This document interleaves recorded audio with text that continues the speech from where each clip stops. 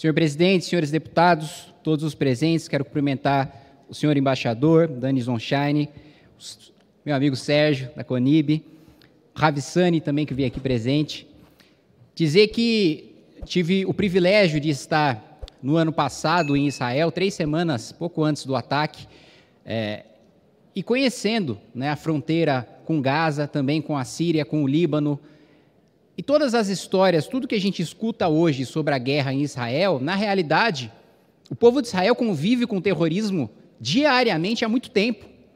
Nós aqui não recebíamos notícia disso porque agora o ataque foi tão brutal, foi tão mais violento e atingiu tantas mais pessoas que virou notícia. Mas para o cidadão de Israel, para quem mora em Sderot, ali na fronteira, você precisa decidir qual é o filho que você salva no momento que você tem 15 segundos para levar para o bunker. Isso é algo que os cidadãos estão acostumados a viver. E que eles ainda dizem: olha, não vou sair daqui ainda assim, mesmo estando na fronteira, mesmo estando numa zona que frequentemente recebe foguetes, toda semana, ainda assim, meus pais estavam aqui, meus avós estavam aqui, e eu vou permanecer aqui, porque é o lugar que eu nasci, que eu fui criado, estão meus amigos, a minha família, do país que eu amo, da cidade que eu amo. E isso é muito bonito de se ver em Israel. Né? Você vê algumas pessoas falando, é, não, mas os palestinos estavam lá muito antes da Segunda Guerra. Bom, acho que eles precisam conhecer um sujeito chamado Rei Davi, que estava lá um pouquinho antes da Segunda Guerra Mundial.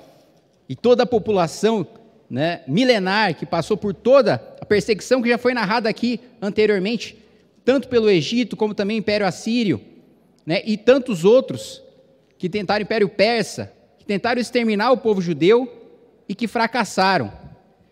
E mais do que isso, infelizmente eu vejo ditos defensores de direitos humanos atacar o Estado de Israel e exaltar o Hamas e exaltar o Irã. Veja, não há direitos humanos para uma mulher, para um gay, não há direitos humanos para um judeu no Irã ou na faixa de Gaza. Veja, em Israel, né, no parlamento israelense, você tem representação muçulmana. Quantos partidos judeus existem no Irã? Quantos partidos judeus existem na faixa de Gaza? A tolerância e os direitos que se vive é um oásis de democracia liberal, num deserto onde se vê perseguição sistemática de direitos humanos, e como bem disse aqui o deputado Osmar Terra, com a ONU apresentando mais condenações contra Israel do que contra a Coreia do Norte. É uma coisa absolutamente assustadora a perseguição que sofre a população de Israel. E ainda, infelizmente, tenho de escutar, não, eu não sou, as pessoas dizem, não, não tenho problema, não sou antissemita, mas sou antisionista. Então, peraí, para essas pessoas, não tem nenhum problema você ser judeu. O problema é você ser judeu e ter direito a um parlamento, e ter direito a forças armadas, e ter direito a se defender, e ter direito a ter uma nação, e ter direito a votar. Então, não tem nenhum problema para você o sujeito ser judeu. Agora, votar já é demais. Ter um parlamento já é demais. Ter forças armadas para se defender, ter o direito de existir, não. Aí já é demais.